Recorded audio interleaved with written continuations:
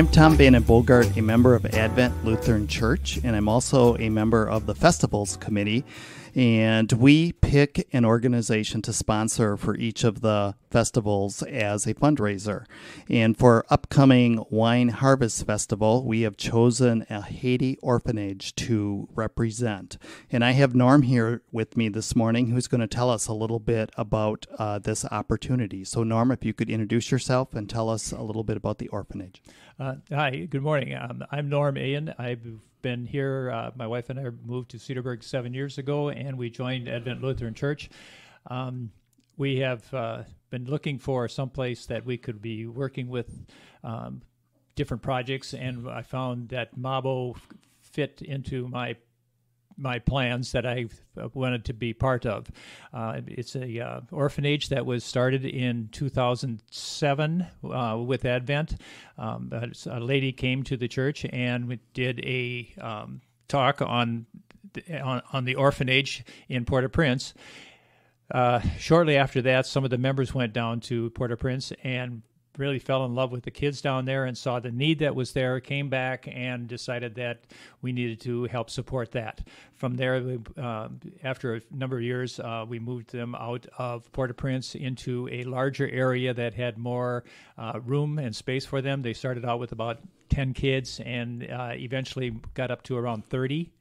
Um, and the the COVID thing kind of drove some of them, um, made the orphanage a little smaller. Some of the kids actually went back uh, home because not all of the kids are orphans. Some of them have been given up by their parents, and the orphanage is taking care of them.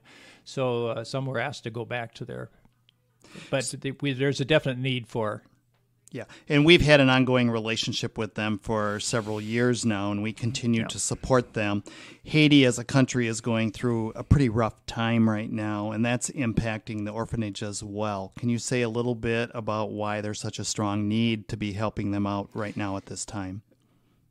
Getting food and clothing, school supplies, everything to them uh, comes from actually comes from us. Uh, right now, there's uh, with the political problems and the gangs that are going on in in Haiti. Um, it is difficult to get anything to them. For the last three years, uh, they haven't really been able to get out buy buy much stuff. They have a, a, hard time getting food into the orphanage.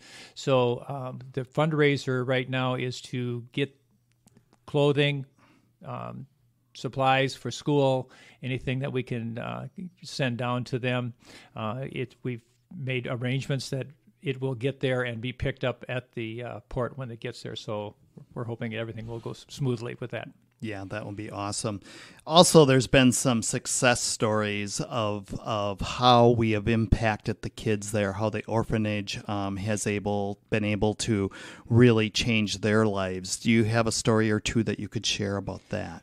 Uh, one of the buildings down there is uh, just a shell of a building. It's really a quite a large building, and but the school has start, uh, we've started a school in there, and uh, the kids have done very well. I mean, they're been teaching even up to calculus and everything down, and some really the kids have, that have been graduating and and in addition to that, uh, the neighboring community has been sending their kids there.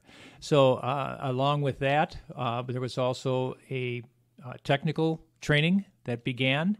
So we had some really good success with the community accepting this, uh, the orphanage right next to them, and being a part of that, and um, even the church growing within the in the community itself.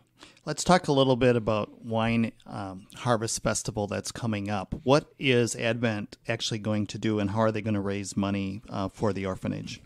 There's going to be a, a flea market kind of uh, rummage sale that's going to be at the at the church, uh, and there will be a big sale going on. Um, the church will be open, and it, it's so for um, different use uh, of people touring around things uh, and places where they can buy, like I said, baked goods, or and there will be um, rummage stuff outside. And then also, it's my understanding that the Facebook page for Advent is going to have information on this. And if you'd like to make a donation uh, for the, the Haiti orphanage or the cause, you can do directly through the Advent website. Is correct? Correct. That's awesome. Um, if if someone has something that they would like to contribute to the rummage sale, how do they make that happen? Uh, the church will be open from nine to noon daily. And if someone would like to have, bring something down for the uh, rummage sale, and we're asking that it be something that has a value of five dollars or more, be brought down to the church and can be uh, donated right there in the morning, uh, any morning between nine and noon. Perfect. Um, what's going to happen with the funds that are raised from the event? Is there a, a goal of what they're going to do with that money specifically? The money is going to help provide um, more more things that the kids will be needing down there.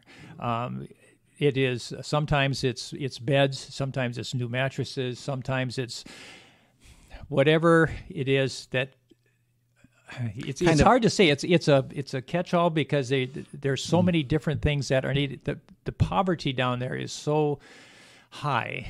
Um, it's less than two dollars a day for earning power, uh, you know, for, for your mm-hmm. income, and it's it's tough to get.